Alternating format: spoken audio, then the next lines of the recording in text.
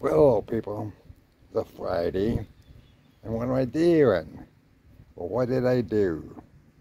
Well, I took all this apart and cleaned it real good. This is the regulator that goes to my Blackstone. Well, I tell you, that is, you know, good. Clean that all off. And I went down and filled up my big tank of propane. I figure I'm going to be here a while you know, about 135 more days or so. So, bring out the big tank. Guess what? Got the water bottle out.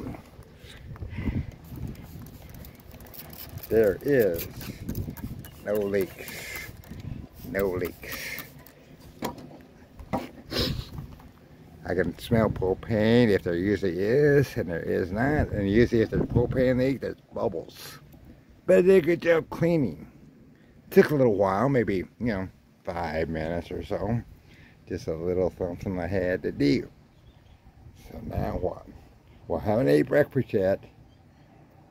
So who knows? Big tank of propane. It's a beautiful morning. Who knows? Stay tuned. Time will tell. Thanks for watching, by the way.